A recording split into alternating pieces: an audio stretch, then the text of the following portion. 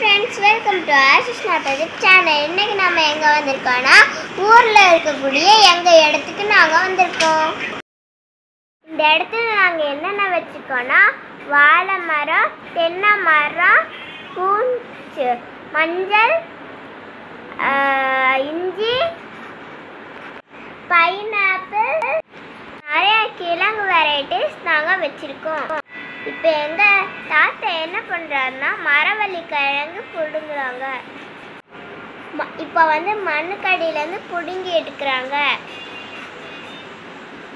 பிடுங்கும் போது அது உடஞ்சி வந்துடுச்சு ஏன்னா அது ஹார்டாக இருக்குது.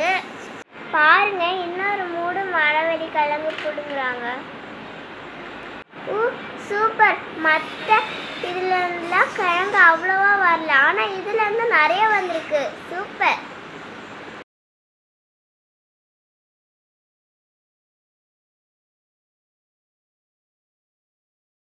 இப்போ நாங்கள் என்ன பிடுங்க போகிறோன்னா ஆரட்டி மாவு கிழங்கு.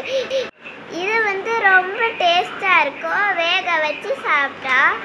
இது வந்து மண்ணுக்கடையில் ஆழமாக நல்லா வளர்ந்துருக்கோம். இப்போ பாருங்கள் எங்கள் எங்கள் தாத்தா மண்வெட்டி வச்சு இது ப தோன்றாங்க இப்போ பாருங்கள் நிறைய கிழங்கு வருது. வாவ்! இவ்வளோ கிழங்கு வருது. இந்த இந்த கிழங்கு வந்து ஒயிட் கலரில் இருக்கும். இப்போ அடுத்த பாருங்கள் கிழங்கு வகை முடிஞ்சாச்சு. இப்போ இஞ்சி.